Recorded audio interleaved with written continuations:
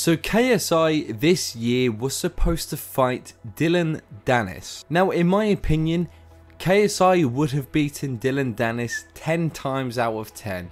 There was no chance that Dillon Danis would ever have beaten KSI. And even though the fight was confirmed and it seemed as if it was going to go ahead, there was always that thought in the back of my mind that Dillon Danis is going to pull out. You know, like he seems to always do.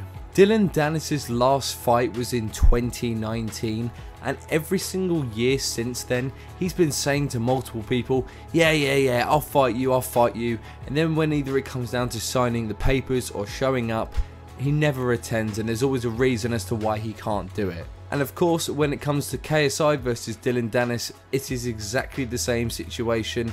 He's pulled out yet again. So if you look online, the official reason as to why Dillon Danis pulled out of this fight, the same word always comes up and that is unprepared.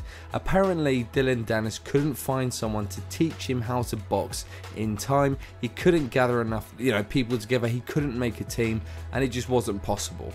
There was also concerns as well that Dillon Danis wouldn't even be able to make the same weight as JJ as well. Just overall, it looks like he accepted the fight like he normally does and he wasn't prepared for it. And when it comes down to the fight it's like look are you going to be ready? Yes or no? He's probably just gone uh, uh, no no no no no no no yeah no yeah. And to be honest am I surprised? No not at all. I almost expected this to happen because let's be real, Dillon Danis's reputation is so bad at the moment because of all the years that he's been pulling out of fights. Let's be real, Dillon Danis, he's not a boxer.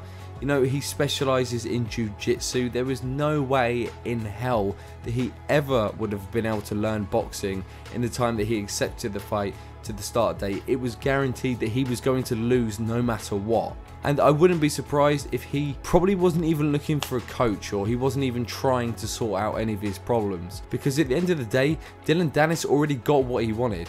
He got his 15 minutes of fame again, he got people talking about his name yet again, but the difference is, is because he wasn't able to sort out the coaches, he didn't have to go through the embarrassment to losing to KSI. But then obviously, you know, you can question what's actually worse, losing a fight to KSI, actually trying, even though people are expecting you to lose, or bailing from yet another fight. And I'm guessing somewhere down the line, Dillon Danis thought, oh, well, maybe if I just not take this fight. Maybe that's better than losing, but in my eyes, I think if he took the fight and then lost, that's more respectable than just not turning up.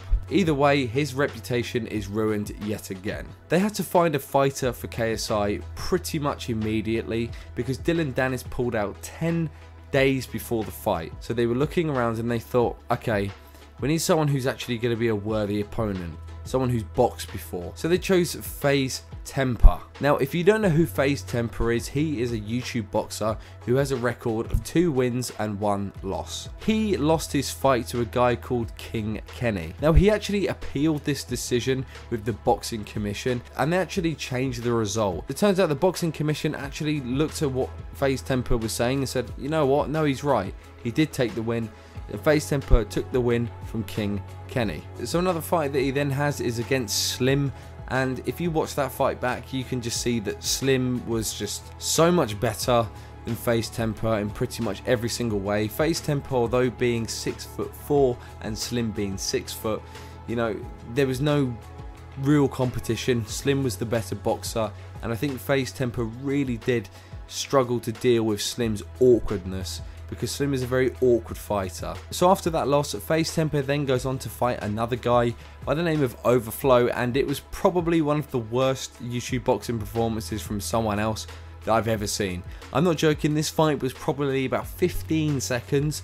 FaZe Temperrr lands one punch on this overflow guy and he goes down. It, was just so obvious that he was acting. There was no way in hell that he was knocked out. It's like he turned up, got you know pretended to get like rocked from one punch and then he stood up and then left with his bag. Like it was one of the worst fights I've ever seen at least FaZe Temper was then able to restore his reputation by having another win after losing to Slim. And then of course we've now recently just seen FaZe Temper go up against KSI and he lost. Yes, FaZe Temper lost on the first round to KSI and it was by a knockout, quite a brutal one. So what are my thoughts on KSI versus FaZe Temper?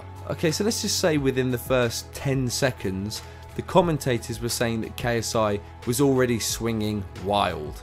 And you know, this is one of the things where I just can't quite understand. KSI's been saying for ages that he's been sharpening up his boxing ability, saying that he's not going to be swinging like this. But then after all of these fights he's had since Logan Paul, he's still swinging wild. I don't quite understand because he knows that that's his biggest drawback in his fighting style, yet he still does it. But anyway, you know, Tommy FaZe Temper, he looked a lot better than what he did against Slim. Like, he did look more confident. Ish. He did actually land a few punches on KSI. He did far better than people like that Pineda guy that JJ fought last year.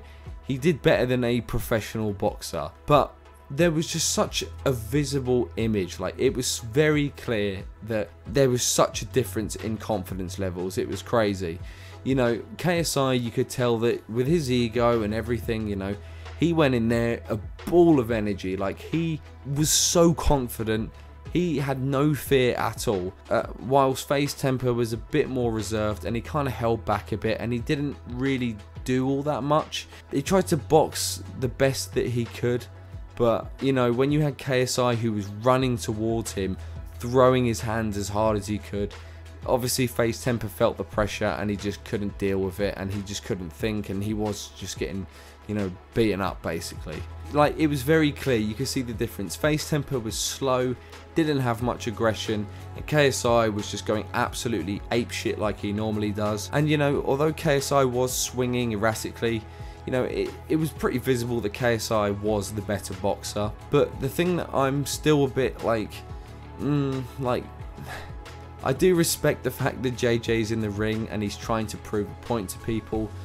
But the thing is, is he's still making all the same mistakes that people are criticizing him for. Like, he still looks not great at boxing. He's still doing questionable things like running forward with his hands down, almost like charging, running into someone and then like doing this weird stuff like his boxing is just weird. I don't get half of it. It's very difficult for me because i wish i could show you clips but recently i've had a lot of problems with copyright issues and i'm tired of being demonetized and then having to have to make about 500 changes to a video. Like you know i want to show you clips to see what so you can see what i'm on about but just go back and watch the clips on youtube. You'll see if you just watch KSI's movements, you will sit there and question and think, what are you doing? Like this is I've never seen anyone box like this. But hey, it doesn't matter. I mean, it got him the win, even if it does look bad, he still won. And you know, let's be real, KSI's the last three people that he's fought, they've all been pretty terrible and they haven't been able to deal with JJ's energy. They haven't been able to deal with JJ's power. Like, it's pretty evident at this point that JJ does have power as he's knocked out multiple people. And all these people just never had the confidence to stand up to JJ but again, after watching, you know, this FaZe Temper fight, although FaZe Temper isn't great, there are still a lot of things that JJ is doing wrong, particularly with his guard and, you know, where he's throwing punches, he's swinging so wide and leaving his body, his face, he's leaving everything open. And the reality is, is if he fights someone who actually is confident, someone who has ability, the second that he goes against someone that has that, they will just capitalize on all of these weaknesses and they're not going to be intimidated by someone that's just swinging wild and that's JJ's biggest problem. And I think everybody can agree with that. JJ is a bit too wild. He's only winning because he's fighting people that are not good enough to deal with that kind of pressure. But when he goes up against someone that can deal with that pressure and actually knows how to stop JJ from swinging like that there's not going to be any competition. But it's like I said before KSI taking all these journeyman fights, don't. It's very hard, really, to judge JJ on his boxing ability because you know he's not actually able to show his skill. Like he's found a technique to beat these people, and although it's scruffy, although it looks not great, it is working. Maybe he'll completely change when he fights someone who is a bit more composed and someone who actually does know like you know what they're doing. He might change completely, and that might be the thing that people are waiting to see this new JJ. But let's be honest, we are all waiting now for the Jake Paul fight, which looks like it's actually happening this year. I just want to say congratulations to FaZe Temper for actually standing up and doing the fight, unlike Dillon Danis. FaZe Temper probably went into the ring pretty terrified, but you know, he stood his ground, he tried his hardest, and it doesn't really matter because you were the underdog and you tried and Dillon Danis didn't. So, con so congratulations to FaZe Temper. But anyway, I just want to end this video by saying that I have actually got another video that's going to be coming out very soon, talking about Jake Paul and KSI, where they have a, a conversation or argument really over a call. So, yeah, that's going to be interesting to talk about.